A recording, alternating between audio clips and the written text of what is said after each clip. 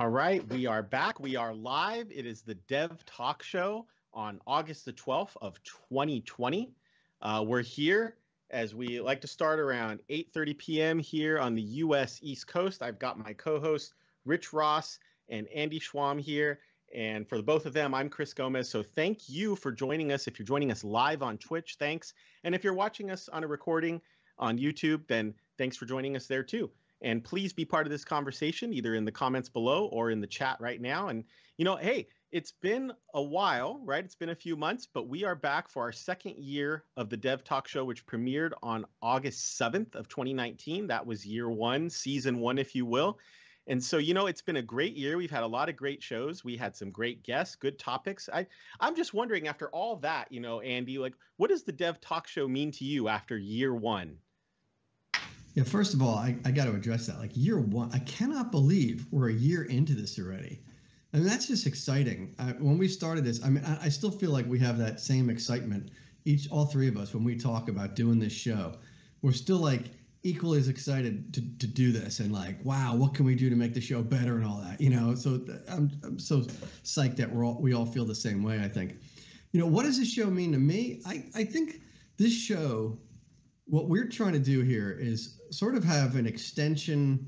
Uh, we, we've talked about this, right? It, it's sort of like people go to meetups a lot and, uh, you know, they see a presentation, but then after the meetup, there's these like conversations that happen. And sometimes right. we call it the parking lot conversation or the hallway yep. conversation yeah. or something like that, right? And we're trying to combine, I think what we're trying to do is combine those two things. In other words, we, we have technical content, we have presentation. It might not be as scripted as like a formal user group presentation, right? But we bring that conversation into the show so that the viewers can like ask questions or make suggestions and say, "Hey, why?" And quite frankly, often it's it's the three of us saying, "Wait, why?" And we're right, learning. Yeah. And and yep. we're asking each other questions and it's those questions and it's that conversation that makes the show great. And what I've said before, I learned something from every one of these shows, I learned I learned something, and it's great. Yeah, right. And so, you, just like you said, it's great to not just learn from each other, but also learn, you know, from the guests or from the chat. And so, I think I think Rich, you've figured you've been compiling some statistics of year one, right? So what what do we have? Yeah, so a little bit of uh, stats that we have. So we have 32 videos up on our YouTube channel, and those are all perpetually up there from for archive. Uh, we've taken a little bit of hiatus over the summer. That's why we don't have you know close to the 52 that you would expect after doing this for a year. Uh, but what's been great about that though is we have over that one year's worth of time, we have 161 subscribers. Uh, 2,600 views and about 320 hours of time watching uh, the videos there. And we're, we're starting to get more and more comments recently from some of the older videos there too, which is really awesome. Yeah, yeah. And that's what's great about it too, is, is that even if the video, if, if we shot the show six months ago, it can be relevant to what you want to take to work tomorrow. And that's okay. You know, the show is there, the comments uh, keep going and in that conversation continues there as well. So if you are joining us live, you know we've got our good friend Chops in the chat room already. And yeah. uh, if you're joining us live and you have a Twitch account, feel free to join in on the chat. Uh, if you would like to be part of the conversation, we'd love to have you. Um, otherwise, we're just glad you're here. That is the most important thing. As we just we are taking what we've learned and trying to help folks, but at the same time, we learn from you. So do not hesitate to teach us while we're here tonight. And you know, we were trying to think about our restart and how do we get back into this into this uh, uh, into our show and what we're going to do. And what came up was it was actually one thing I said is is that I, I've been to um, I've been to talk so many times about the solid principles, which often apply to uh, they're often used in object oriented programming languages, but really I think programming in general benefits from some of these principles or all of them. And I remember saying out loud, you know, I still struggle a lot with how much to apply this and when and what does it look like when I have it right. And so we have, uh, I think, Andy, we have tonight, we're going to start off with the first letter in solid. They all stand for something. And and we're going to, you know, I think if, if you're ready, we can get right into understanding what the the solid principles are in coding and how they can help us uh, when we go to work. Yeah, that'd be great. It'll be it'll be it's a fun conversation. Uh, by the way, we also got a hi there from uh, MRK Ready. How's it going? Um, you know what what Chris was saying. Like if you're here and you and you are logged in and you have an account and you want to say hi, we love it. We like just having some fun. You know, make a joke or whatever. It doesn't even have to be you know all that serious, right? Like it's it's like join in on this and and, and have fun with us. Um, will be great. Yeah. So um, we've been talking about uh, you know, we wanted to do a show on the um, solid principles or a series of shows. And in addition, we wanted to start off and do like, I think it was Chris's idea, like, what if we did a show on each of the uh, solid principles, right? And quite frankly, um, I've done these talks on these, uh, at, you know, at user groups and code camps and things like that. And, uh, and we will often will cram the whole thing into a one hour like presentation but that's not what this is. This is a conversation right? Um, before we dig into that i wanted to talk about the why because to me that, that might be the most important part of the whole conversation is like the why right? Why do we need design principles? Well building software is hard. Let's just be clear about that right maintaining and changing poorly designed software is costly. Now, when I say costly, I don't just mean money. I'm talking about time, right? And stress and uh, the the lost cost. What do you call it? Like missed opportunities by not adding new features because we're busy trying to fix and change poorly designed code and stuff like that. So uh, fragile code leads to code that's buggy, you know, all this kind of stuff. Uh, and bugs are costly. Changing bad code is really hard, right? What we want is is we want to design quality software, right? Now, again, this I think is the most important thing is the takeaway is why do we want to follow these principles, right? And we'll then we'll get into why these certain principles are helpful, right? We're not going to spend a lot of time on why isn't this slide moving? So, Hang on a second. Let me, so let me ask, while you're working on the slide, so Yeah. is what you're saying here, like you say some things like changing bad code is really hard. So that leads Yeah. naturally to the like, well, well, what does bad code look like? And and Right. maybe if I can just offer real quick is that as programmers, you're giving instructions to the computer, like that's that real layman's point of view, right? But I could give you instructions to go to the store and I could make it really complicated, overly complicated. And then you get to the store and and you personally it's you're trying to follow this complex thing, but to make things worse, let's say I called you in the middle to make a change to what I asked you to do at the store, but the thing the instructions I gave you were so complicated that you kind of get my change wrong and then you don't come home with what was asked for. And so that's why, you know, in a really horrible analogy, that's why you, we could just write code and it could work just fine. If as long as the instructions are correct, then Yeah. does it really matter? But that's not true at all. It does matter because you you own this software and you're going to have to keep working on it day after day for years potentially. Yeah, yeah, and and again, I, I'm vague in these slides. You know, I say changing bad code. Like, what is bad code, right? Well, disorganized, hard code. We'll get into like how the solid principles help, but we're trying to move away from having bad code, right? Um, so, what should code be? I think, right? My feeling is, and I think a lot of the stuff people would generally agree on, code should be less error prone than more error prone, right? The less error prone it is, the better. It should be easier to maintain. It should be easy to read, less breakable, more reusable, more decoupled. This is what I'm shooting for, right? This is my goal.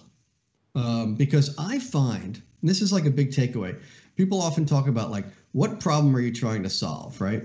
To me, in an enterprise organization where I, where I happen to be, right? The problem isn't always the, the, the biggest problem is is maintenance. It's like we want to be able to quickly turn out features right? Our, our biggest problem isn't shaving a tenth of a second off of performance and i'm not saying performance isn't important right? But that's not the problem i'm trying to solve right? If i was building some sort of like i always use the example like if i was building the robotic arm that's used in sort of surgery, right? And maybe my problem, well, I'd still want to accomplish all these things, right? I'd still want it to be less breakable and things like that. But but I might be really focused on, you know, performance or like this, you know, accuracy to like this minute level, right?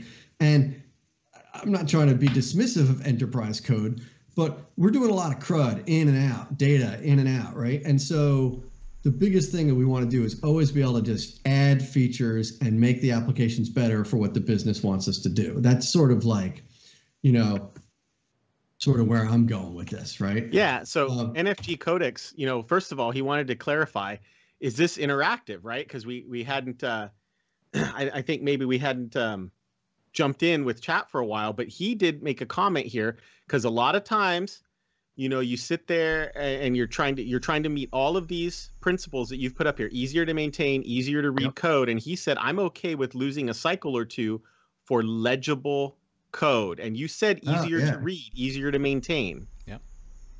Yeah so losing that, a cycle that's what i'm talking about here right? slow to go fast? Is that kind of that principle? Go slow to go fast. Um, well yeah i think that um, some people often say when you get into like these design principles, when you get into like really caring about architecture, you're like, but it takes a long time. I want to just go in and start typing in stuff, right, and make it work. And it will. Eh, eh, let's face it. If you're a good developer, you know, you could do that. You could go into your you know editor, start banging through this thing, and bang out a feature really quick. And yes, are you going to ship faster? It's possible you might ship faster but day two is going to be worse, right? Um, and it's also possible you won't ship faster because you're going to find out that oh, you know, I can't unit test this thing, or it's just a mess, right? And so, um, yeah, so this is you know this is great, and and so great to see the the the chat and all that's going on. Totally, is this is this interactive? You bet, right? Um, so, oh, sorry, again with the slide here as I change. Yep. So so, like he says, bit... code is not for machines, right? It's for people. Yeah. And and the, and the, yeah. the, the reason that I wanted to bring that up is because that this is a classic quote that we are uh, that we're cribbing here a little bit. Um, it's a good one. You know, Harold Abelson, a professor at MIT, uh, is known for saying programs must be written for people to read and only incidentally for machines to execute. And so, you know, I love it only incidentally, right? Like, oh, it just so happens that machines are going to execute. And he wrote this in the structure interpretation of computer programs, an absolute classic, right? That that I think maybe. Look, I'm not going to sit here and tell you I've read it cover to cover, but I will never forget that quote. It's a good one, and I appreciate you sharing it because I I don't, I don't think I've ever seen that quote before. You know, that's that's great, right? So again, I want to move quickly into what we want to talk about for the core thing today, but I want to also mention it. We're talking about design principles. Design principles are not implementations. They're not patterns, right?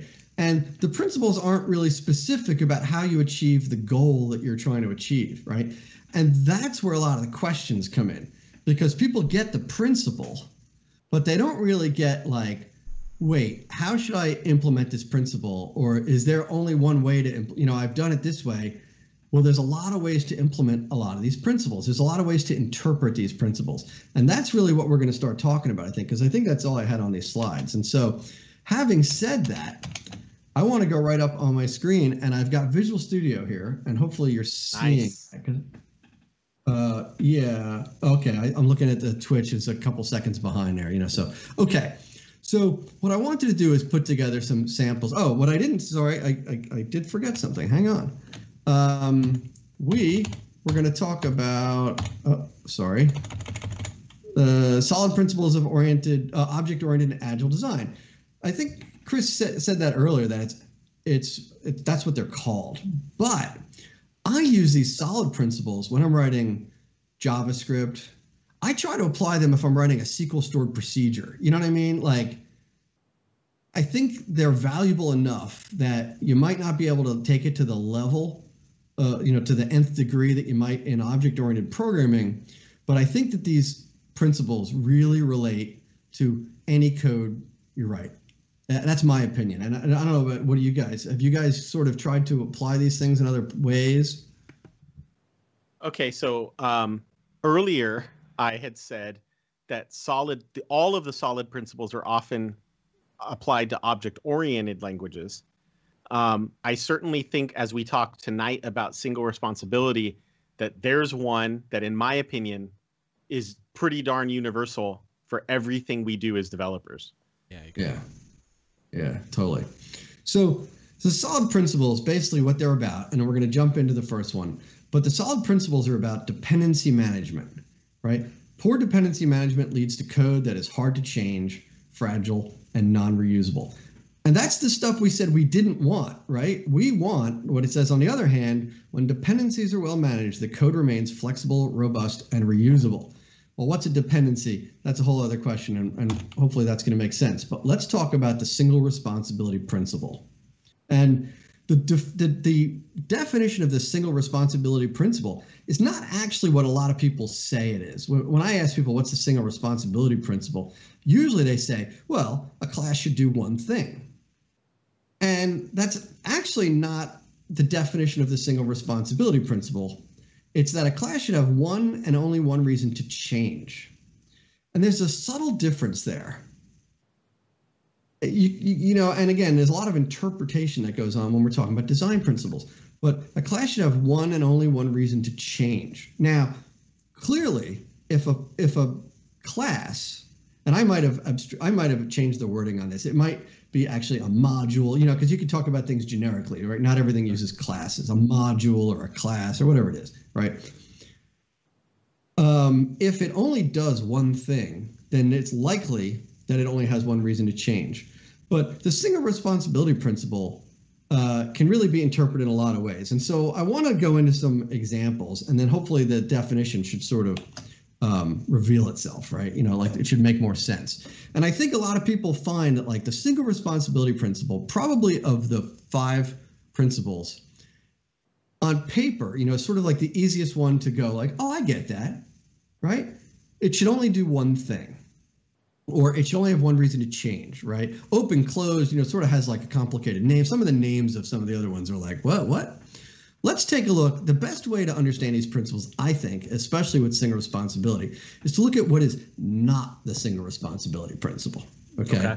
And so I have this class here, and the class is called the converter, or not the, the class is called converter. And I've got some little classes in this uh, library. This library doesn't run, it doesn't really do anything, right? It's just for demo purposes. But we have something called a customer right? And let's assume that the customer is, is an object that we probably have in our database. And maybe when we query that database, we often have to turn it into different DTOs to, to return to a UI. So in this case, there's a customer list item DTO, meaning I want to return and have a UI that has like a list of customers, right? Maybe I have a customer details page. And so I want to take a customer and get the details out of it or something like that. Now you can tell my um, my implementations of these are weak. And this isn't really about the implementation. The implementation here is irrelevant. What we want to be thinking about is this class and these methods. And don't worry the fact that I haven't really implemented these things. Okay. Try to look past that. Um, does that make sense? Yeah. Okay. Like we could imagine that this class converts to list items, converts to yeah. details, converts to customers. Right. And I, I don't care what the code looks like. Yeah, c dot name equals customer list item dot name. You know, blah blah blah. Right? We we know how to write that code. So so I'm taking this customer, I'm turning into a list item, taking it, turning into a detail, taking a oh, I'm going in the other direction. I'm taking like the editing, you know, the input from the UI, and I'm turning it into a customer. Oh, and yes, I'm taking these three strings and I'm turning it into an employee. Wait, what? Right? my alarm bells like go off in my head immediately. Like, what? What are we doing? We got customer, customer, customer, employee. Sounds like, like Sesame Street song. Which one of these don't belong, right? yes, yes. Now, this doesn't really add up to the single responsibility principle. I've got four different methods in here, and one of them is dramatically different than the other three. Okay, so I would say let's take a look at a better converter, right? And the name of things, I find that when I name things properly, everything tends to work out better. And right off the bat, I name this thing converter.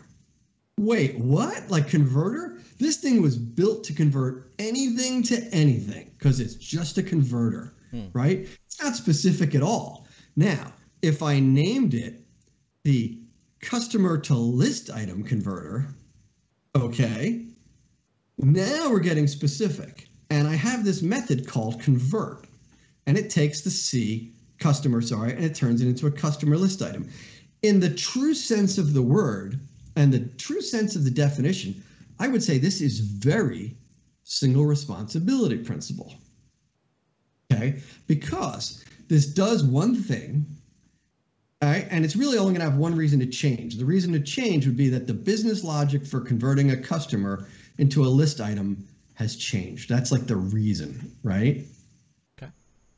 Now, you may be thinking, and this is where the interpretation on these principles really gets like hazy. You might think like, well, that looks like a lot of work. Are you saying, Andy, we should take this converter and convert this into four classes, right? Where each class has one method. And my answer to that is, well, you could do that. And I don't think anyone would argue that that isn't like purely single responsibility. But most people would say that's hard to maintain right? It's one thing to split things up in certain ways, but you could take these things to a level where it's potentially too far. Okay. If I was doing this, and by the way, I am, right? I would probably do this. I would probably have the customer converter, and the customer converter's job is to convert a customer into various things. Okay? Now, there's no implementation here again. So these things on paper seem really similar and really simple. And I'm going to say, in my definition, and this is again, this is personal opinion, but in my definition, this is okay. All right, because um, because they're kind of related, and this is where, quite frankly, like this, it's okay to disagree. You might say, yeah, but Andy, I really like this. Okay. I want to have everything in there. And I would never argue with that. But my feeling is I would likely have a customer converter and then that other one, I guess I forgot to do this. I didn't really, I should have done it, but I would have this employee converter in its own class. And that's class job is to convert employees into things. Okay. Does that make sense with the way you guys have interpreted the single responsibility principle before? right? And well, I see right on the comments, uh, NFG Codex says, you know, there's a lot of ways to skin a cat, right? And that is the the truth. There's a lot of ways to do this, right? Yeah. So you are drawing a line in the sand that that fourth method is out of here. That, yeah, that at totally. the very least, it's so different from what the rest of the customer converter is trying to do that it's that it's clearly you know it's just kind of it's like you're just finding a box to throw an old toy in mm-hmm. and then now somebody's got to go find it later. Exactly right now, where where the line the line is a subtle line this this line of like crossing it or not crossing it because we talked about these these these methods earlier and we said well what would a method look this look like and it would probably be like something like uh, I'll just uh, sorry let me just do something like this uh, DTO equals new uh, customer list IODTO, right? And then we would do this, right? We would say like, I don't even know if this thing has any properties because I was goofing around. It doesn't even have any properties, right? But it would be like first name equals uh, C dot first name, right? This is what you'd expect the code to look like, right? And if I had like 10 lines like this in each one of these things, I'd feel pretty good about it. But then maybe we get down to this bottom one, and this bottom one has different complexities, right? It has to do, and again, we're talking about com- customers, and it's probably not that complicated. But if this converter had to do calculations and do all these other kind of things, and it's starting to get where this one is long now. You know what I mean? This, uh, well, I would hopefully never have it be that long, but this one's got lots of like logic in it. Maybe I would say, hey, you know what? Maybe this thing should be in its own class for some some reason right? Because I just feel like it's getting it's getting messy. Um, but it's a subtle line, um, and I hope that makes sense. And I have some other examples that I think sort of show things that go together, in my opinion, and things that don't go together. Um, but if this makes sense, I'll I'll move to another example. I'm just cleaning this up because I'm like totally uh, not ADD. What's the word? I don't know. I couldn't handle like that. You know, there was there was spaces in there, right? So, so another example is the old classic, you know, repository, right? And again, the name here is almost a dead giveaway because I called it repository, right? So this thing can get a per, oh, I, I renamed some of these things. It can get an, an employee. This is supposed to say get employee, right? Get employee. Sorry, fixing my code here. Get employee, add an employee, delete an employee. That sounds like a repository. But wait, get manager, add manager, delete manager. Again, I named it wrong. And that allowed me to build it wrong right off the bat. You know, I mean, I didn't give myself any um, any uh, what's the word I'm looking for? Um, It's almost you know, like you just said throw all the database code in here. Yeah, and I've seen people do that. They say, "Oh, I follow the repository pattern. I put everything in a repository pattern." And by the way, this breaks the official repository pattern. By the way, but we're not talking about the repository pattern. We're talking about single responsibility principle. Um, and so, go ahead. I cut you off. You were going to say something. Think. No? Uh, no. I No, we're. I, I wasn't going to say anything. Although we So- did get a, a comment that when you, as you were going through methods there, that uh, Contrive EX was saying that you can keep delete manager. yeah, yeah, definitely. I'm sure most of my team would, you know, would agree on that. Um, uh, lines of code, by the way, also says an easy code smell for sure, right? And I think that's true when it comes to single responsibility principle. When I, I'm not strict, some people say, oh, a method should have, you know, 20 lines or, or, or you know, code in it or 10 lines, and that's the max. I don't have a strict rule there. But I, you know, you know it when it's wrong, right? Certainly when there's, you know, 300 lines, it's wrong, right? And probably not following the single responsibility principle. I've got some more complex examples that I can show you um, that that you know we'll see that kind of code smell. So, So what should a repository look? Yep. So just a comment around this because you say you kind of know when you see it. So part of this becomes a little bit of culture, right? And making sure that this is how we how we groom our code, how we, you know, build our applications. The new guy coming on gets a sense of what that is and gets a sense of the 200 line method really doesn't make sense. You know, it's more something that is fits on the width of my screen, let's say. Yeah, yeah, definitely. And another thing you talked about uh, culture and all. Um, I talk about design principles a lot as great um, food or you know whatever you want to call it for code reviews, right? A lot of times developers say, "I'm not really sure what to look for in a code review." Well, here's a great thing to look for in a code review. Like, why did someone put all these things into here. And by the way, in my organization, we're introducing standards, and one of our standards is that we follow things like the solid principles, right? And by introducing standards to your organization, you give people something to talk about in code reviews. You get to say, well, hey, that's not our standard, right? Um, and so, you know, that, that's a whole other conversation, but, you know, I kind of like that. Uh, so repository is a problem because I named it repository right off the bat. What should it look like? Well, I would have the employee repository that just has three methods, right? It, not much more needs to be said. It's, it's kind of similar to the similar to the converter method, converter example. Okay, now let's take a look at. Um, oh, and so what we've done is we've sort of said I'm willing to scope this single responsibility of this repository to work with employees only, but do more than one thing with employees. Now, if you wanted to have um, if you wanted to split this out even further, you know, it'd be hard for me to argue with you to accept that I just find the payoff doesn't really come that much by going even more, you know, granular. Okay.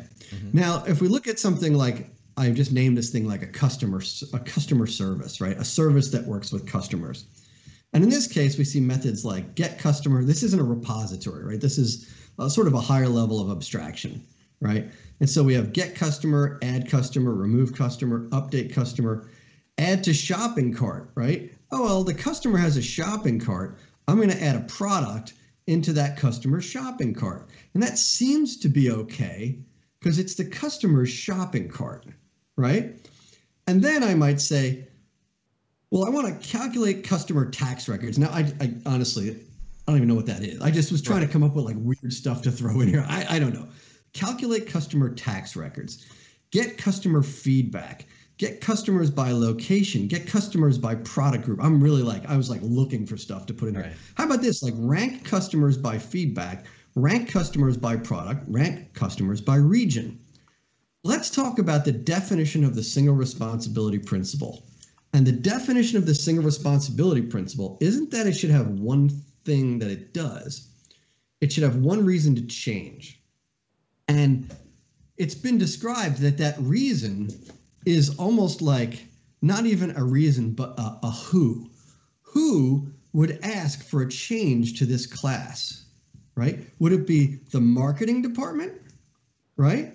Mm-hmm. Or would it be the uh, anal- analytics team that wants to get like customer data out of here? That sounds like I'm working for multiple teams now, right? I might have more than one reason to change this this this class in dramatic ways. And while we have no implementations here, likely we have a bunch of class level variables and things like that, right? Fields, etc. Shared things that are used, right? And what happens when I start to have real implementations in here and, and variables and things like that is that there's logic in here, well, whatever the logic is here, right? And there's logic in all these things. And if I decide that the marketing department wants to get uh, customer feedback, I need to come in here and change this class. And I run the risk of breaking something and I might break the customer ranking, right? So because of something from the marketing department, I broke something from the anal. I broke the, you know, uh, the analytics team's work, right? Mm-hmm. We don't want to introduce prob like that's a that's a bad thing. It's bad enough that I broke the marketing thing, right? Uh, and but I don't want to break somebody else's stuff, right? Teams are willing to sort of accept that, like, you know, I introduced a bug in that, well, no one wants a bug. But it's, haven't we had different conversations with the team that like asked for the change and, oh, sorry, I introduced a bug? And isn't it a totally different conversation when, uh, you know, I was working on some report for analysis and I broke the uh, authentication feature of some website and they're going, how did you break that? You weren't even working in that code, right? Right. Those are different conversations that you don't want to have. Does does that sort of concept make sense? That who, who am I working for? What is the reason for changing this class? Yeah, yeah, it definitely does. I know when you were like when you were going through all those methods, there was that sense of, yeah, this makes sense, makes sense, and all of a sudden you hit the one about the shopping cart. It's like that totally seems far into what is in there, and it's like, well, you know that was and then you read all the more more and more ridiculous ones as we went through it but and you gave the reasons why they were that way but it's it yeah t- absolutely makes sense. Yeah i see a lot of comments in here. I want to get to the comments but i want to show you so what would i do about this right? Yep. So what i would probably do is have this uh, customer service uh, class that has the add and the get and the remove and the update. And you know what? Interestingly I was willing, and you you called out on this. I was willing to even throw in the shopping cart stuff in here because, and and I probably wouldn't, right? Mm-hmm. But I would say that's a little more close to this is customer stuff. But what I would definitely do, wait, where is? Oh, here. I would definitely have something like a customer search service to grab some of these methods, right? And the ranking thing, and I put these in one file here for demo purposes yeah. The whole thing about not breaking it is these are different classes. These might be in totally different projects and different um, you know DLLs compiled separately because when we compile, we we can break something. You know, so if I really want to protect code, I've really got it separated out. But here's like the customer ranking service, right? Let's be specific about the name. This thing's job is to handle those ranking features, right? And you're right. I would probably move out this uh, shopping cart thing, but I was just trying to group these into a few areas, like the search stuff, the ranking stuff, and and in this case, I was a little lazy and left those other things in there. But I really liked when I learned that concept of the reason to change. Why might this change? Who might the request be coming from? And um, you know things like that, right? Um, I, I, don't know if you guys are following the comments. I see a lot of stuff in there. Did you want to? Should we grab something from comments and chat? Yeah. or- So, um, a little earlier we were talking about, you know, that you were implementing a repository, right? So, yeah. I I think I see this a lot. Uh, I see, you know, we can we can hit search engines and we can look for the repository pattern, and I believe that we will find both for and against repository pattern posts, and even furthermore for and against generic repository pattern posts, and that that's what this comment from helpful stranger reminded me of. Um, I guess I'm Oh, I not would sure. use generics. Let's be clear. I would use generics. I would not write this repository. Uh, if Okay. that's if that's what helpful stranger was wondering, this is to, this is remember this conversation is not about the repository pattern or about writing better code. Uh, not, not it is about writing better code, but it's not about exact implementations. This is about showing the difference of what is the single responsibility principle. So I, I want to frame it that way. This is not the way I would create a repository, but like you said, Chris, we could find posts for and against that, but that's not the scope of this Yeah. conversation. I hope that's okay. No, Uh, it is, but uh, and so I'm I'm trying to figure this out too. Is is uh, understanding whether your class has a single reason to change, and that slight uh, that that I don't want to call it a pivot, but you call it. You said there's a subtle difference between just that it only does one thing because that's not true. You want the class to have it, it, what you're telling me is I want this class to have one concern. Um, You know, Is it also concern is a great word. Concern is a great word. Yeah. Like we're concerned with employees here. It's the Right. scope. so the, is is a way to determine this um uh, whether or not um i only have to go one place to make a change like somebody comes to us and says okay all of our employees they all had nu- numeric id numbers. And it's been that way for 30 years but we just merged with another company. And at that company uh, you know 30 years ago it, it was fine to use an int here although we didn't have c sharp then but whatever. Um, it was fine to use an int no big deal.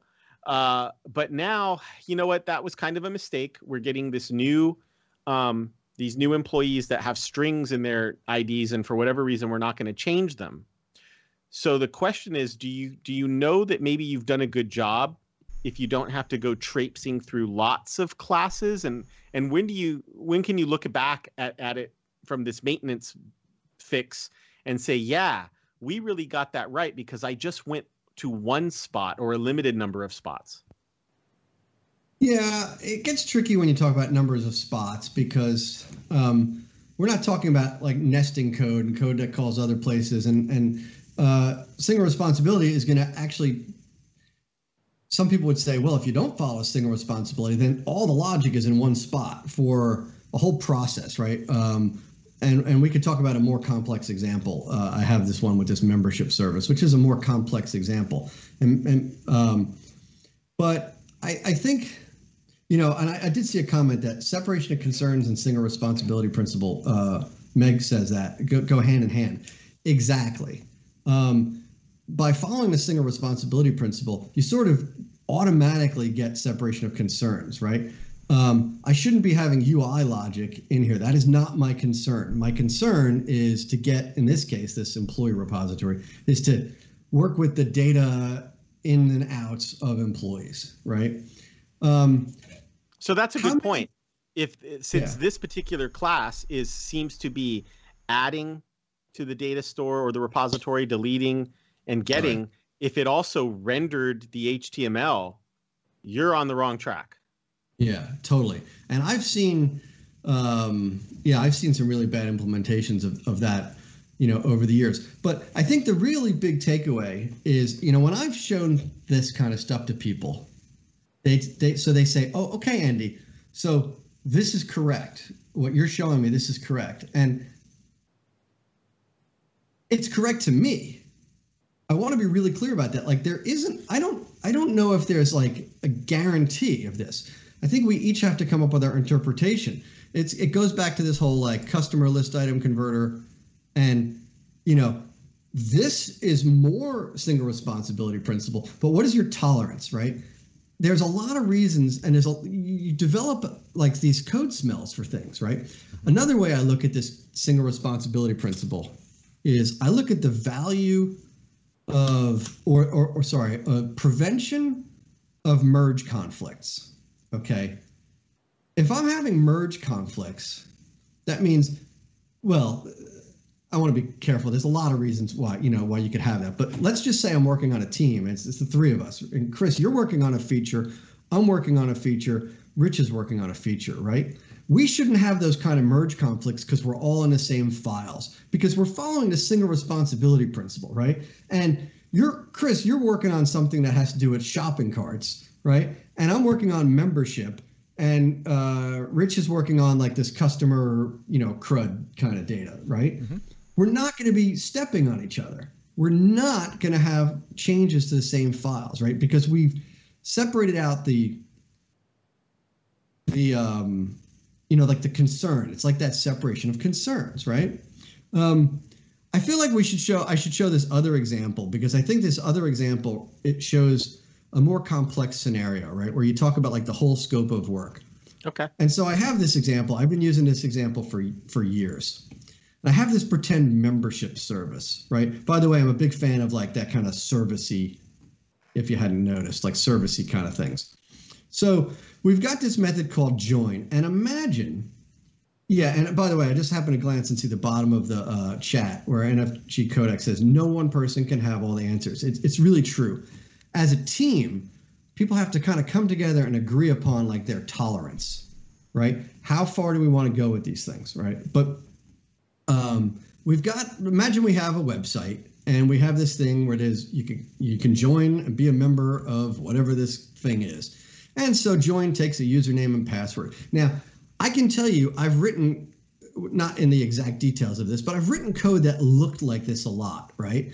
Maybe at the beginning, don't worry about this. I'm just getting some sort of like access to my database. And then what do I do? I go into my user validation and I say, um, by the way, this validation is, is horrific, right? The point isn't how good this validation is. The point is, oh, I'm going to validate this username. I'm going to make sure that the length is right and that it doesn't contain an at uh, has to contain an at because you know the username has to be an email address. This is my little hacky demo code here. Oh and it has to be a complex password. So if the if the password is less than five characters we're going to throw an exception right? So i've got validation first thing that i do in my method. And then i keep going right? I want to check to make sure that user doesn't exist already so I'm going to look to see if that username is taken already. And if it is, I'm going to throw an exception. Again, we're not talking about should you throw exceptions or should you not throw exceptions. We're talking about that the scope of work in this is getting complicated. Okay. Then I have to convert. I have to take this user, this username, and turn it into this user object, right? And then I have to add that user to my context. Again, doesn't matter if you use Entity Framework or not. I'm, I'm adding this thing to my database is what I'm doing here, right? And I'm saving the changes. And then, just to make it really fun, we send out a welcome message. And so we got to go in here and we format a welcome message and we say the subject and the body and the username. And then we have our SMTP client and we hit send on the message, right? This so this is a little different from that like single feature thing.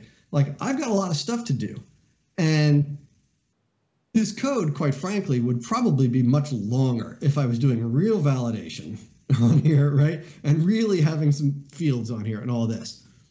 And this, so going back to the why would this change and how would this break? So the marketing department calls up and says, you know, Andy, that welcome message you're sending is nice, but it's a little vanilla. Um, can we get some HTML formatting in here at least, right? And maybe include the user's name, right? Clearly, this is is ridiculous, and this is just demoware, right? But they want me to come in here and add like HTML and maybe make the message a nice font and stuff like that. So I come in here because the marketing department asks for that, and I'm in here. And when I did that, I made a mistake and let's just say somehow it still compiles, you know, whatever. It gets through this thing. And I just broke registration because we were changing the format of the email message.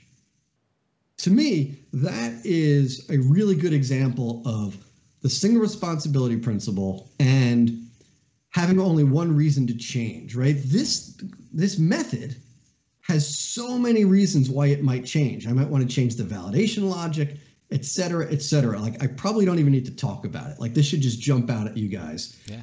as being, um, you know, and so, um, and you know, so Meg is is hitting on it. I, I'm sorry if I'm. It's easy for me to see the bottom uh, item of the chat, but there's certainly ways that we we would separate this out, right? And and I can show you what this would look like. Um, I would do something like this. Now, keep in mind, I want to be really careful here. Some people are going to say you shouldn't new things up in here. This breaks all kinds of other principles. This isn't, but the principle we're talking about here is the single responsibility principle. I just want to be clear about that. And in other future shows, we can talk about even better ways to do this. But what did I do? I created a membership validator, and its job is to take that code take this code and quite frankly, copy and paste it and put it over here in this membership validator, right? Simple as that. Just drop it in there. It's a different class. It's not all in the same file. Now I've got a single responsibility membership validator and I call it and I ask it to do its thing.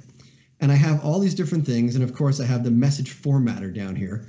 And this is its own class in its own file, maybe even in its own library. And so when the marketing department comes and says, hey, we got to be able to do something better with that message, sure, I can do that. I'll come in here and change this thing to, you know, as much as you want. There's no chance in me breaking all those other features, right? And so I just want to does does that does that jive with what everybody thinks is the single responsibility principle? Because this to me is like the classic example so when you go back to your membership service, yep. originally I think you you pointed out that it was doing a lot of different things. It was validating the user and it was sending the email and it was and your feeling is what what you're telling us is is that each of those jobs you you could disconnect them. They could be almost like different you, you could almost have different lieutenants that are responsible for each of these things a security officer that validates the user yes. a, uh, a, a, postal officer that sends the email and so once you have that abstraction in your mind you've already given them different personas so that's sort of leading you towards hey i need different places for these things. It can be classes in c sharp functions in a language that doesn't have classes at all or the or the c sharp and java version of classes. Just get it out of here. Different library um, things like that right? I, I feel yes. like that's kind exactly. of I, I keep coming back to how i'm trying to detect this stuff and earlier you sort of said we can detect it in some ways with git if it causes a merge conflict and two people need to change the same code then maybe we're detecting. and you know me, if I can use Git to solve a problem, that's right in my wheelhouse. so. yeah, yeah, and and I uh, glancing through chat, I saw earlier people talking about. Um, code analyzers that look at things like cyclical complexity, right? There are things that can say this class has too many if this method has too many if statements. And I also saw a joke in there about if statements and you know, so last year. And yeah, we're breaking all kinds of or, or we are or not breaking all kinds of other rules, but that's not what this show is about. But yeah, there are other ways to to validate some of these things. Cyclical complexity is a good is a potentially good indicator of uh, single responsibility principle being broken. Right? There are analyzers for that. There are uh, what Chris just talked about again with you know um, conflicts and, and merge problems. There are a whole bunch of different sort of and, and then there are all these smells that we, we talk about. We use that word code smell. And for those people that are new to that phrase it's when you're looking at the code and you're like something just doesn't smell right to me right? I yeah. love that phrase code smell. Yeah. Um, and so i just want to point out that meg shared this code smell detector for ruby that while you were talking i went and peeked at and it's amazing in that the author or this project has documented the code smells. And then you like run this sort of eh, like linter, except it's so much more than a linter. oh, wow. because it's running around saying, you know, it's looking through your code and saying, yeah, um, this isn't this isn't good. so I was just impressed by that project. That was amazing to me. Yeah. No, that, that sounds really cool. Um, now, I, I also sort of glanced through chat, you know, quickly, and I saw some comments about people saying things like, you know, valid valid concerns. There's no way to get around. There's always going to be cross-cutting concerns that you need to share across features or across teams and things like that. We're not saying throw that out. I'm not saying don't ever. Oh God, we don't want to break. Um, we don't want to break. You know, marketing needs a customer and sales needs a customer. So we should write that database logic twice and you know duplicate code because you know let them change it each on their own. Like i'm not saying to do that. Now maybe there's a use case where that's a good idea too you know because there's there's a lot of ways to do this. But it's about you know sort of being practical and trying to minimize conflict where we can right? And thinking about what's the best way to do this. But certainly there's going to be data access points that are really going to bubble themselves up through multiple, you know, sort of scopes or things like that. Um, I still think, you know, that's good code. That's good code writing, right? You don't want to have duplication of code. And so single responsibility principle, I would say that's a, there's a little bit of a problem there where there have been times where I'll admit, uh, well, I want to admit a couple things here, but I'll admit that I've rewritten code that maybe I shouldn't have rewritten, meaning like duplicated it because maybe I was going too far with single responsibility principle, right? And the other thing I want to admit real quick, um, because I always find it's important. I hate to sound holier than thou. People are like, well, you know, those of us that do demos, you know, people will say, oh, you know, you know all this stuff and I don't know all this stuff. I didn't always know all this stuff. I can tell you that several, well, more than a few years ago, because I've been doing this stuff for a while here, I wrote classes that looked an awful like this, right? And anyone who says they didn't like start doing stuff like this in at some point in their career, like cut the holier than now crap, honestly, right? Because I've done this. Uh, I, I'm I'm proud to say that I, I think it's better the way I do things now, which is a little bit more like this, right? But but you know none of this should make anyone feel bad about the work they're doing today right we want to make people better but it's not um you know there's no judgment right? This is a judgment free zone right guys? Absolutely. Um so um you know chris you've you know we've had that conversation like you know you've said on some of these principles like i'm not really sure where to draw the line right? Okay. and i hear that you know so often. Um and the bottom line is it's about like developing code smells it's about working with a team and maybe agreeing upon like a style, like how far, or what what like sort of tolerance do we have on some of these things. Um, you know, uh, and not all code needs to follow the single responsibility principle either, right? People will say, like, I broke all kinds of best practices in these demos, right? Some people get really mad. You do a demo and it has to be perfect. Like, maybe demos don't need to follow a single responsibility principle, right? I'm just writing a quick utility or whatever I'm doing.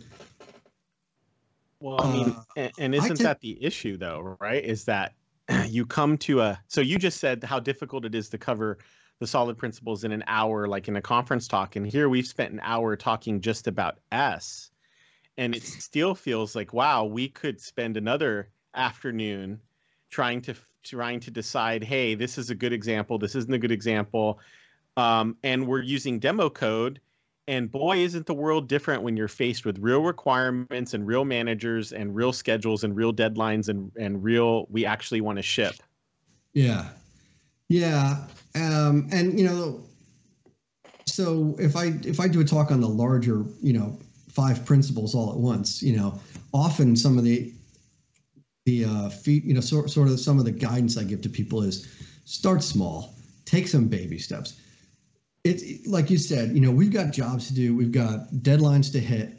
And when you're good at this, yeah, I can write this code quickly, right? But when it's new to you, it takes a little while. And you're going to write your code and you're going to be like, this isn't so perfectly single responsibility. And I would say, is it better than what you did yesterday? Right? Um, and uh, in the interest of shipping this product, you know, is there are there some places where you think, wow, I'd like to make that a little bit more single responsibility? Yeah, but you're learning, and um, these things you know it's so easy it's so easy for me to say like oh you know you develop some smells and it's easy to recognize where single responsibility is right and I, I hate myself for saying that word easy a lot of people say like a presenter should never use the word easy because it's it's this stuff's all complicated you know um, it's it's stuff's complicated but i really like it um, i also see comments there about cqrs what a cool pattern that is um, I'd love to have a show um, and have someone come on and do it. I am not qualified to do it. Oh yeah, I don't think so either. I mean, you know, if you look at separation and stuff is right. is um, it's that gets single responsibility by the way right where you're basically saying i mean it's it's it's quite different than this kind of stuff but you're saying that we're going to separate the command from the query right and so if i'm saving a customer that thing doesn't even return the customer because it doesn't know how to get a customer. It only knows how to save the customer, right? Like stuff yeah. like that. Well, your read, you know, what what you read from is different from what you write to. Yep. Yeah. And and you're you've separated, oh, yeah, totally. you know, you and look, I I can't say that I'm an expert on this, but I've just really what I've done is, is Microsoft publishes some of these patterns and so you know I I've read through a lot of them, but like uh I think the point of CQRS is to say instead of trying to write the system that knows how to both take the order, write the order, and and then read the orders back, you separate all of those things into separate services. Um, you also give up things that maybe if you're a little bit older that you're used to when you use products like SQL Server, you're used to, to consistency and ACID compliance, and you're probably giving that up in a system like that because you've decoupled it all. Um, I don't know if by itself that necessarily leads you to single responsibility. I just don't know because uh, you, you sit down to try and, and write some code, and sometimes the easiest thing to do is to bang out do this, then do this, and do this, and do this, and you and it works. And then uh, it even kind of passes the code review, and then you come back and look at it later and realize, wow, that was a lot of different, varied things to do that we all kind of threw in one place now. Right. Yep. You know, so one way I, I solved that problem, by the way, uh, and I, I want, um, yeah, I, I feel like I, I want to keep this conversation going, but I, I, want to take a break to say something here. You know, to we've got a bunch of people here watching and commenting, and how uh, this is fun for me, and, and I hope everyone's having a good time. If you're here for the first time, and and uh, you know follow us on on Twitch, right? We would appreciate a follow. If you are happen to be watching this uh, after the fact on YouTube, you know, subscribe and and give us a like on the video. I've been watching YouTubers lately, and they all go like pound on that like video, you know, destroy that uh, that like button and stuff. Like you know, we don't get quite that uh, animated, but um, you know, follow us on uh, Twitter and maybe even join the meetup, which we have a meetup which is uh, it feels a little almost antiquated. It's sort of not a very Twitch streamy kind of thing to do, but it's a good place for us to have our schedule and uh, certainly not required to RSVP or anything like that. But no, that's true. Um, you, you, can kind of see what's going on. Um, and I don't know if we have any other plugs, but I want to come back to this conversation. Did you have anything else we want to just mention while while we're you know like that kind of so, stuff? So you know, a little bit earlier. Um, let's see if I can find it here. We we sort of snuck into code reviews. I, I don't know that we meant to, um, but it came up very briefly. And NFG Codex had said, um, I, and I want to make sure I've got this right. I, I'm pretty sure this was in relation to that conversation about code reviews. Was um, start at the end, work to the beginning, uh, and and because instead that if you're focusing on syntax by reading it front to back, then you know you're you're not basically figuring out what the code does you're just kind of like reading how the code works i mm. think. I'm not sure. Syntax identifies the nitpicks and obvious bad practices. So um i think that's interesting. Start at the end work back to the beginning then read it front to back and focus on the logic. So start at the oh i see. I get it now. If you start at the end you're not going to read okay. So i had to read this again. In fact i think i got this better when i read it backwards. I should have started at the end of the message. is by starting at the end when reviewing the code, you're going to focus on uh, the syntax, and then when you go from front to to back, from top to bottom, you're going to focus on the logic. Yeah. He, he said it better. I should have just put Oh. it up there and said You should put it presented there. presented without horrible analysis from Chris. Yeah. Um, yeah, I mean, I think we, I think code reviews, you know, is it would be a great show as well. By the way, um, I like, you know, hearing and again, like we have our, each have our own opinions on things, and then we would hear opinions from, uh, you know, our our our family out there. I could say our viewers, but like our family, you know, everyone that's that's a part of the show, like you know, throwing in ideas and stuff like that. It's it's great to hear um, you know other people's uh, like tips like that. I mean, that's the whole point of what we're trying to do. What I you know we said earlier is like this community. It's not just us talking. It's not a single presenter presenting his point of view. This show is a discussion, right? And and it's perfectly fine for people to say, I don't think what you did here is is single responsibility enough for me, or it's too much for me. That's fine, right? Um, there's a lot of uh, you know a lot of interpretation but um chris you were talking about go back where was that you were talking about how you know you start writing code and you find that all of a sudden it's like it's not very single responsibility. You just started writing it right?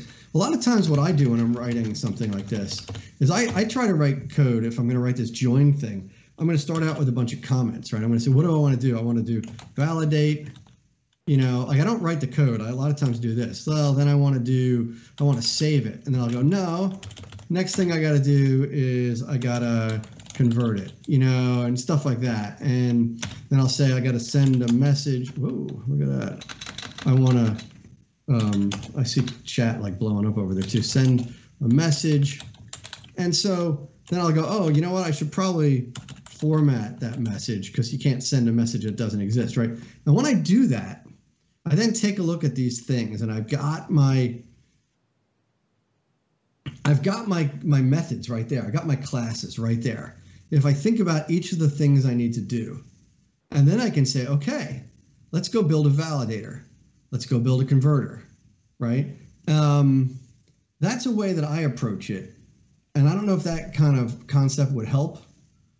Um, Chris, you know, I don't know if that would help or not, but that is a way that I often get to having this, you know, code that's Yeah. more single responsibility. So what kind of works for me, okay, is although I'm not going to say that when I do this, it's because I'm thinking single responsibility. It's that, but I feel like I kind of get to the same place. Is that you've written a comment that says I need to validate, convert, save, format, and send a message. And I think if I'm following you correctly, then what you're saying is that I should see just maybe five or six lines of code that go off and do those things by the parties that are responsible, the classes that are responsible, whatever, the services that are responsible. Yep. Um, to me, I think when I translate that in my brain, it's that I want to read this code like a book, and I literally want it to say validate, maybe uh, validate, and then maybe username and password is in parentheses, so that it's like I'm reading the instructions. I could read this out loud to a Yeah, non look to right a here. non-programmer or a business person. Take away right. this first part, right? Yeah. Take away this thing, and it says what I'm going to do. I'm going to validate the user. Right. I'm going to add. This could be named better. Add user, Yeah. right, or save user to database. You know, whatever you want to Sure. call it. Format a message and send a notification. This code reads so well because of the way it's. There's there's almost again. Uh, this is demo where I didn't I didn't make this perfect here, but the next developer that comes in six months from now, or or me coming back two months from now, because I tell you what, I always forget what the heck I was doing from two months ago. There's no question about what's going on here, right? Yeah. Um, if if you you can show in- the code, Mm, go ahead.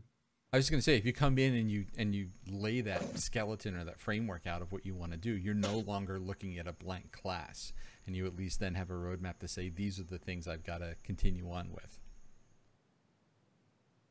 Which I think Yeah. uh, can be one of those things that when you're looking at, it's like, well, how do I keep things separate? And you're thinking about that instead of thinking, well, what do I really need to to kind of put into this bit of work that I'm trying to get done? Yeah. Yeah, yeah. You know, um, a lot of a lot of times people think about uh, another another way of looking at this. By the way, one of the first things I learned when I was uh, you know doing you know C sharp and and that, or probably even when I was doing Java, like way back in the beginning, is like, oh, turn this into a method, right? Add have something like private, you know, private validate, right? Uh, whoops, I don't know what this was. Private void. It wouldn't be void, right? But validate, right? And if we remember those skills that we learned early on, like take these things and break this method into having private methods, right? Um, and then all this code goes in this in this validator thing here, right? Well, all you do now is take those take that private validate. First of all, I hate private. I like to have everything be public, but that's a whole other thing. Uh, so take this validate. Um, sorry, take this validate method, and now just take it out and make it a class, right? And now it's the validator class that has a validate method in it. Um, and those are skills that people tend to learn pretty early on in like software development. I think is like that whole private method mentality. Mentality. Mm-hmm. Um, and I don't know if if if that kind of helps people as well to say, well, just take those private methods and get them out of there. Now, there's a whole other bunch of reasons why you might want to do that, you know, and things like that. Now, by the way, a couple other things we could talk about here. The first thing I want to talk about that we didn't cover is people say, this class, I've heard, I've heard this from people, right? And it's a pretty good, uh, pretty understandable thing to say. Well, this method breaks the single responsibility principle. This method does five different things. And yeah, it certainly does. It does five different things. But again, something has to call these things, right? So I always say this thing, this join method has one job to do. Its job is to orchestrate the actions needed to become a member, right? Yeah, its just back to your orchestrators. You, yeah, and you've heard me talk about like orchestrator, yeah. orchestration pattern, orchestrator pattern, right? Those things, right? Something has to do that. This thing, the only reason that this method would change. What reason would this method or this class have to change?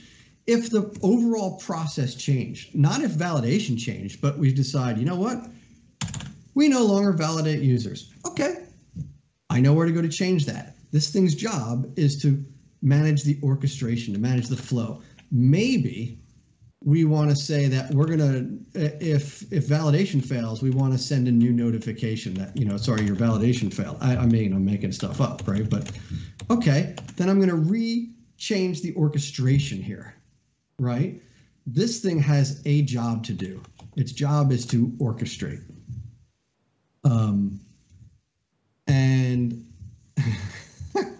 i'll orchestrate the orchestration Chris, is that what you're making fun of me that I love the word no, I, I, think that if I remember correctly, when we talked about uh, dev team standards, and you were actually presenting some of your common standards that you like to use, they've become reliable for you. I believe that's the first time that we heard the term orchestrators on this show, and I wanted to call out that video. Oh, oh, you did. Oh, that's cool. Oh, excellent. Yeah, um, that all plays upon this whole concept. Like you have to have something that um, drives things, right? So I tend to break things up, and I call these little things like, you know, I call them like um, these are like the some people call these the workers. Like these are the things that do the work, right? They know how to do stuff, right? I tend to call them like little microservices or something like that, but it, it doesn't matter, you know, what, what we call them, um, mini service, you know, whatever. So that was something I wanted to bring up. Um, the other thing I wanted to bring up, uh, I've written it down. Um, I remember saying, oh, there's two other things I want to bring up. And I don't remember what the other one was. So maybe we talk and it'll pop into my head. But, you know, the concern about like, how is this single responsibility? Well, it is. Yeah, and then and then you have microservices, right? And you could turn these into microservices.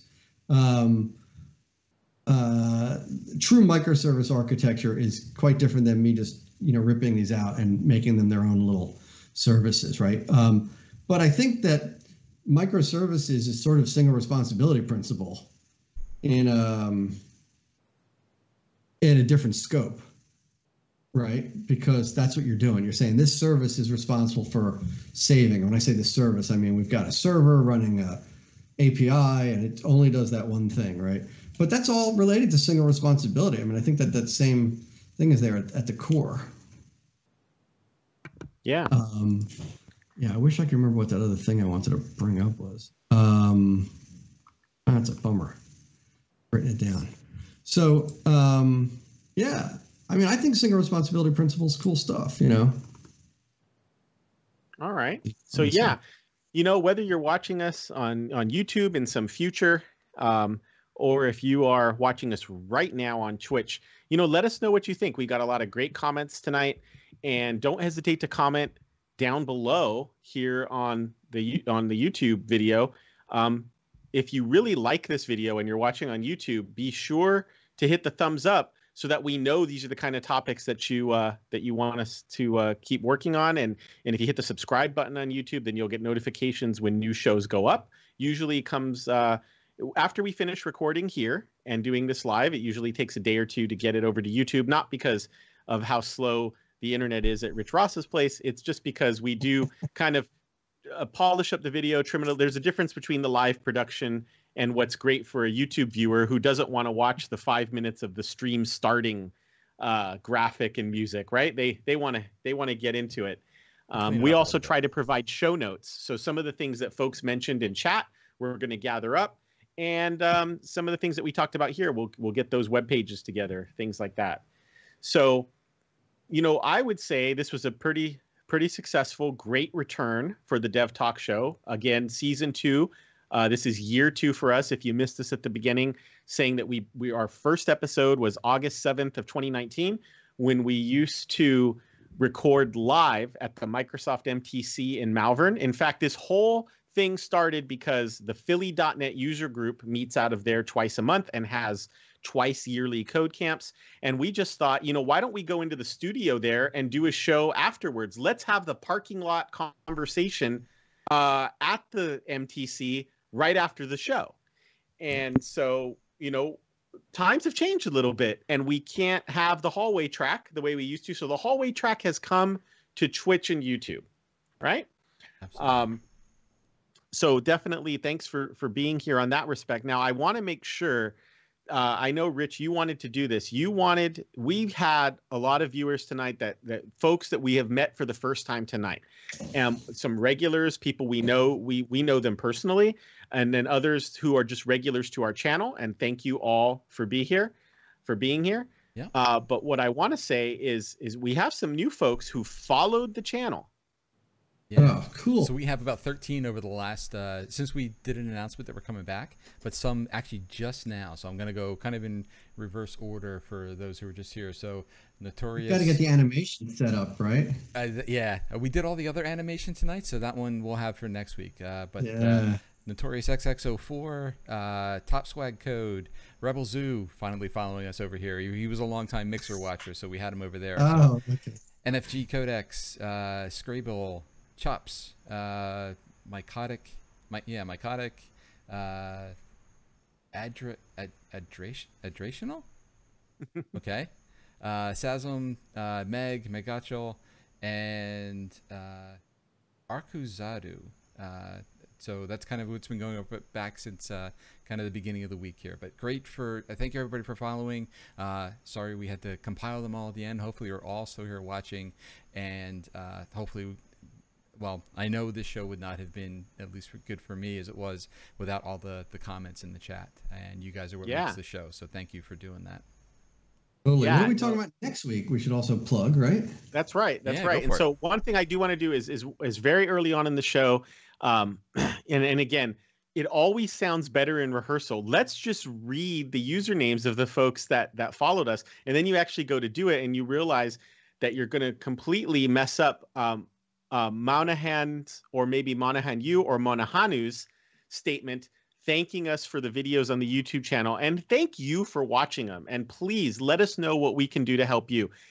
you see the three of us a lot, but if you watch some of those videos at video.youtube.com, you'll see that we had some guests. We had Kevin Griffin talking Yeah. about Azure Logic Apps. We had uh, Sarah Dutkiewicz talking about, um, and I had to pull that pronunciation from somewhere in my memory again. bank.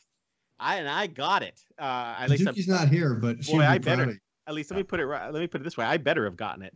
Uh, she showed us Jupyter notebooks, um, and we have some guests that that are eager to come on. We're just kind of getting back into the the flow here with this five part series on the solid principles. This week, week S for single responsibility. So that means O is for Open closed principle. open closed. which I think is a lot of fun. Um, And you know, I, again, I think that's a one that there's a lot of like cool stuff we can talk about with that. And and so knowing that we're going to be talking about that, everybody that's watching now, think about like maybe your some of your examples that you know that you have, and maybe you know when we you could be be prepped for like comments next time, like you know ideas and how how we should or should not apply the open close principle. You know. Yeah, right. You know, Contrive DX points out that he saw an episode with Carl Franklin, which was oh, yeah. an an honor, a privilege, and so much fun to speak to Carl Franklin, who I think it's fair to say is responsible for this show even existing by paving the way with with uh, with .NET Rocks and, and Absolutely. everything that he and Richard have done. So I I will always tell them that. I will always tell you that that this show would not be possible without um, folks like uh, um, uh, Suze Hinton, right? Did I did I get that right? Um, boy, my brain's for some reason I, my drawing a blank. Twitch, right? She was uh, one of the first who streamed on. Twitch. She was the very first person I saw coding on Twitch, and I said, "This is absolutely brilliant. Uh, this is just wonderful to see technology on Twitch." And then, of course, our good friend here, also from the Southeast Philly uh, area, Jeff Fritz, C Sharp Fritz here on Twitch, who codes three, four, five times a week. You've got to check him out. It's Fritz Mm. and Friends coding with uh, pair programming with the cloud. Um, Yeah. But thank you for joining us. We're here on Twitch, 8:30 p.m. Uh, U.S. Eastern time, but you can always catch what we've done in the past at YouTube. Yeah, maybe we should put up our Twitter handles too um, on the chat, right? In case people want to follow us. We have, uh, I'm typing this in here, at the Dev Talk Show. Oh, will it do at? Because it's going to think I'm trying to talk. Will it put that in? Yeah, that's the at the Dev Talk Show on Twitter, right? And I'm Yep. at uh, at Schwami. I mean, and Rich joined me on my stream here on on Twitch. My handle is is Space Shot, which is a as you've seen in the chat. It's my longtime Xbox Live handle. I've had it for absolutely forever. Space And, shot uh, yeah and and yeah you'll find me everywhere there but you know eh, just to just say like top swag code trolled us a little bit about the the end of mixer but i i definitely did one last stream on mixer and and and and gave it a good tribute and send off because that was the platform that got me into streaming uh, on myself. So i will never forget what that platform did for me. But we're here we're here and we're going to be this uh, community. Uh, and yeah like chop says you know that that's been I, I'm pretty sure I can go back even longer than 20 years with that handle, back to dial-up BBSs, and uh, knowing which um, baud speed I had connected to just by the sound of the the modem. Was that 300 baud or 1200 baud? Oh, that sounds like 1200. Well, to be So- fair, I feel like I got to one up you a little bit because people have been calling me Schwami from a long time. Although Rich can probably say people have been calling him Rich Ross since the day he was born, right? And so his handle is probably the most, uh, you know, oldest, right? Well, comment, yeah. Although I don't have just Rich Ross, so that that happens. But Oh yeah. Your Twitter handle is what? I, I typed it's in Rich Ross. unders- Yeah, it's Ross. got an underscore Yeah. in there. So I was why. trying to do that. I was trying to do that, and it thought I was trying to type at you. So, um, these are that's your Twitter handle go. there, Ross. Yeah. Um, All right. So So awesome. So once again, Yeah. thank you everybody tonight for all the follows. Thank you to Andy for putting together the slides, the code, and leading the way on single responsibility. Uh, what a lot of you may or may not know if you're new um, is is Rich put so much effort behind the scenes. The wonderful displays you're looking at, the audio, uh, switching scenes, putting up the desktop of the person who's presenting, and it just looks like it's all planned and it's a wonderful TV production that we spent hours prepping when in reality he just reads our minds and knows what to do next. So kind of right. Yeah. Yeah. Thanks. No, it's it's a lot of fun. That's why, we, I, I that's why I'm happy the, to be back. The new the new look, uh, Rich, that you came up with the new screens really looked great. I'm I'm really liking the new layout. Cool. Thank you. Yeah, we want to do something different to, to show that we're in year two. So. Yep. Yep. So um, I think that'll do it for this episode here, our August 12th, uh, beginning of year two. And you know what? Let's hope let's hope that uh, that this is that someday we'll look back at year two and say, remember, remember when. But for right now, everyone out there watching, thank you for joining us. We had a great turnout on Twitch tonight. We hope to have a great turnout on YouTube. Please watch, subscribe, follow, comment, let us know uh, what you think, and we'll see you uh, next time um, next Wednesday, 8:30 p.m. U.S. Eastern, when we cover the open close principle and begin to start putting out the schedule for some of the guests that we're just getting in place for later this year, so that the learning just keeps going. And we, we can't wait to see you again next time for Andy Schwamm and Rich Ross. I'm Chris Gomez, and you have been watching the Dev Talk Show.